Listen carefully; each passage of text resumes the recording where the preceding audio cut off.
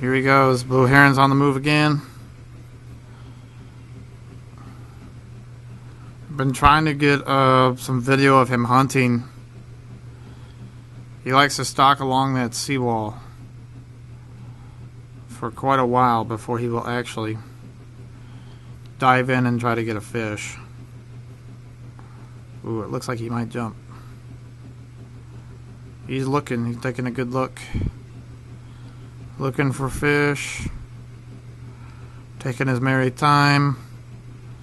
This guy's been putting on a show to, tonight, but I think he's I think he's trying to get catch a dinner right now. He's already dove in once, came up empty-handed. looking like I've seen this other bird fly off in the distance there. They, look, taking a good long look.